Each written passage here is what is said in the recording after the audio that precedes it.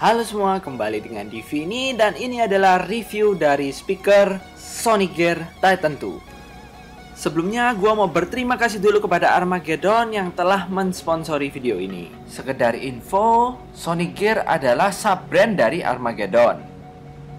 Oke, langsung aja kita bahas speakernya. Pas ngelihat desainnya, gua dari pertama mengira ini adalah speaker gaming. Tapi ternyata setelah melihat boxnya ini sama sekali nggak ada embel-embel gaming. Jadi lampu seperti RGB-nya ini hanyalah sebuah fitur yang mempercantik speaker ini.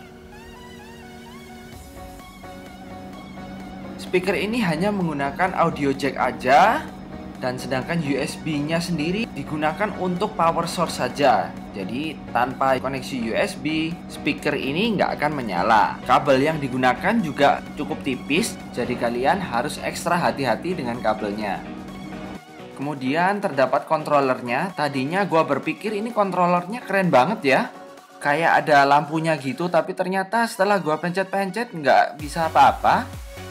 Dan ternyata kontrol volumenya ada di samping guys. Jadi lampu dan tombolnya hanyalah kosmetik belaka. Dan di bagian belakang kontrolernya terdapat branding dari speaker ini. Oke, langsung aja kita masuk ke fitur yang menjadi andalan di speaker ini, yaitu lampu LED-nya.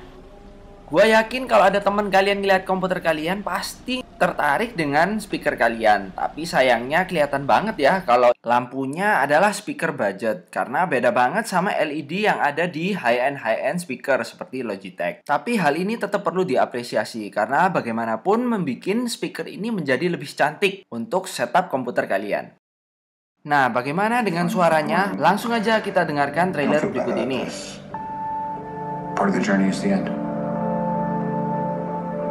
The record, being adrift in space with zero promise of rescue is more fun than it sounds. Food and water ran out four days ago.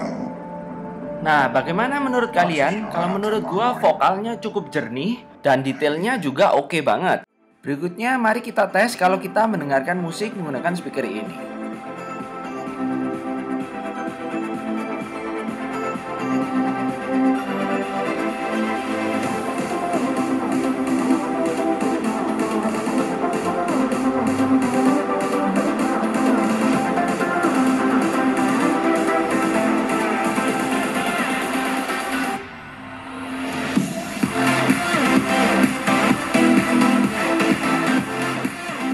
Nah, menurut gua bassnya bener-bener nendang banget.